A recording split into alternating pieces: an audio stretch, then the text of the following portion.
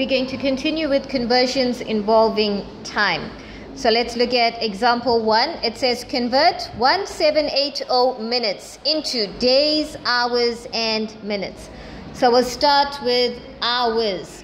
So I know that 60 minutes is equivalent to one hour. When I convert from hours into minutes, I say divided by 60. So I'm going to start 1780 divided by 60 gives me 29,67 hours. I'm focusing on the whole number only. So 29 hours. I can take off 24 hours, which is the same as one day. So that's my 24 hours.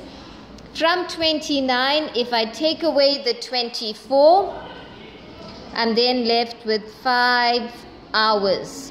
So what we're saying is 1780 is the same as one day and five hours.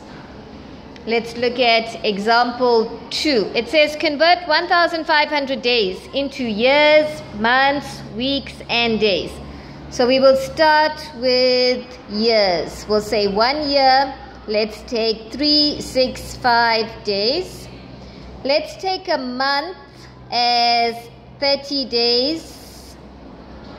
Okay, so we'll start 1500 divided by 365. That's going to give me 4 comma 12 years. Again, I'm going to work with the whole number only, so I'm going to remove the 4 years. So from 1,500, I'm taking away four years, which means my balance is going to be 4 times 365, which is 1460 days.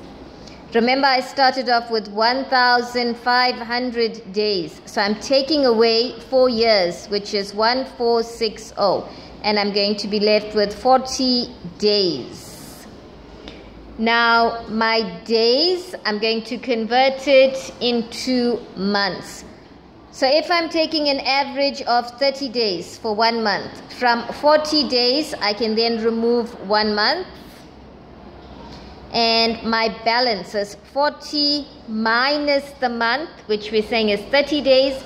That leaves me 10 days. Now, I need to, from my 10 days, I need to remove a week. So a week will take away 7 days.